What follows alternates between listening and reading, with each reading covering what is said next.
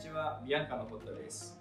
今回のテーマは鼻のヒアルロン酸注入で内出血が出るのかということです。結論は、えー、分かりません。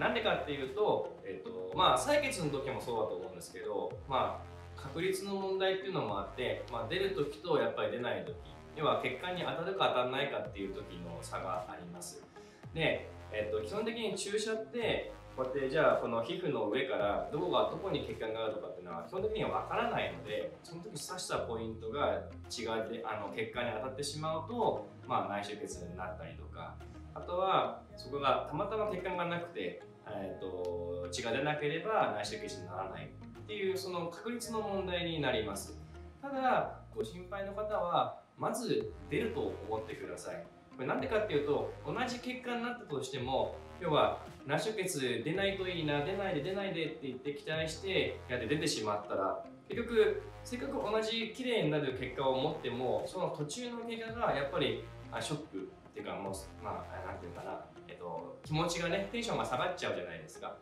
で、えっと、逆に内出血はもう出るもんだと受けていただいて、えっとまあ、逆に出なかったとする。そうするとまあラッキーってなって、まあ、あの逆に気持ちよくあのなんていうのか